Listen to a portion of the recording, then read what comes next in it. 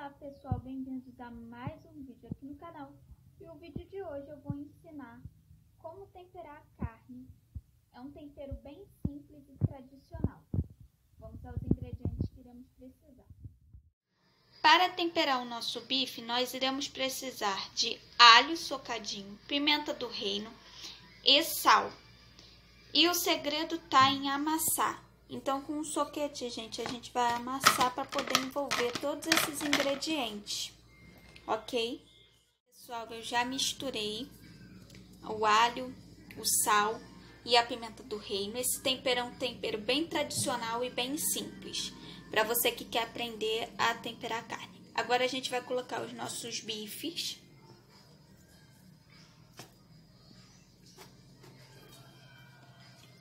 E vamos misturar até ele pegar todos os sabores.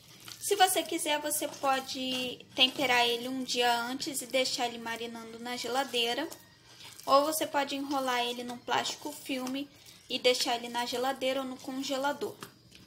Para na hora que você quiser, o seu bife já está prontinho. Agora, pessoal, o nosso bife já está temperado.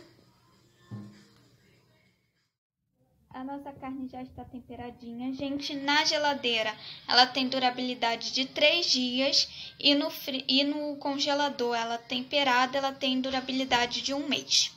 É só enrolar num plástico filme. Nossa carne já está pronta. E o vídeo foi esse, pessoal. Se vocês gostaram de saber como temperar um bom bife para você que está aprendendo, deixe seu like. Se ainda não é inscrito, se inscreva no canal. Beijos, até o próximo vídeo.